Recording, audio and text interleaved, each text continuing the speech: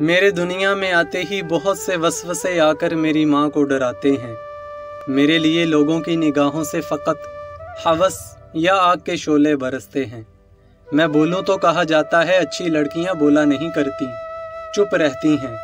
वो अपने बाप और भाई के हर फरमान को सुनती हैं और सर को झुकाती हैं कि वो हर हाल में कुंबे की इज़्ज़त बचाती हैं। मैं अगर कुछ सोचूं तो मेरी सोचों के पर यह कहकर अक्सर कुतरे जाते हैं कि अच्छी लड़कियाँ बेसरोपा बात को बिला वजह सोचा नहीं करती। मगर, अब मैं क्या करूँ कि मेरे खालिक ने मुझे इंसान बनाया है। मुझे हर चीज़ का इदराक बख्शा है। मैं भी हर्फ मुद्दा के कुछ फूल होंठों पर सजाना चाहती हूँ। मैं एक मुद्दत से ज़िंदा हूँ, मगर मेरी माँ, मैं अब जीना भी चाहती हूँ।